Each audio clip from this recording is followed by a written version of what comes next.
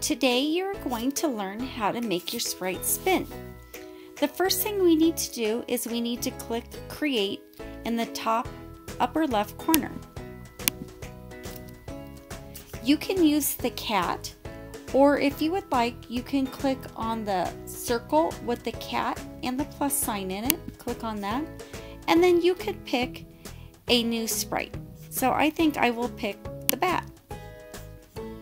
Now maybe you don't want the cat anymore, so if you come down here, click on it, you're going to click on the little X with the trash can in it, and the cat will go away.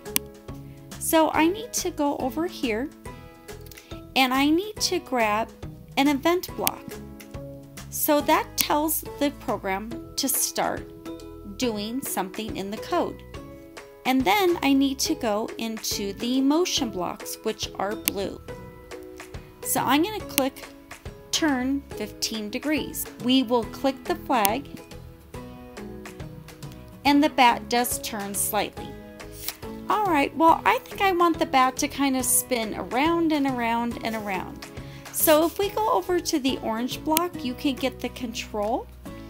And last time we used the repeat block, but this time we're going to use forever. And this is called a loop. You're going to put the turn block inside and this will be called a loop because it does it over and over and over again. So we're going to hit the flag. And look, our bat is spinning. Okay, we might want to put a wait block in there. No, that made him spin too slow. So let's try 0.5. Okay, he's still too slow. We're going to go even smaller, so we'll say 0.25. It's still too slow. 0.10.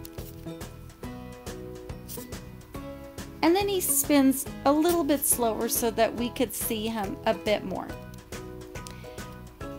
We're going to stop it. And notice that our bat is upside down and I don't want my sprite to be upside down when I start my program again. So I'm going to go back to the motion block and I'm going to grab a piece of code that says point in direction 90 and I'm going to click that underneath. Let's see what happens. Okay, he did start in the right direction, but I want to make sure, so I'm going to click control. I'm going to put a wait underneath the point in direction.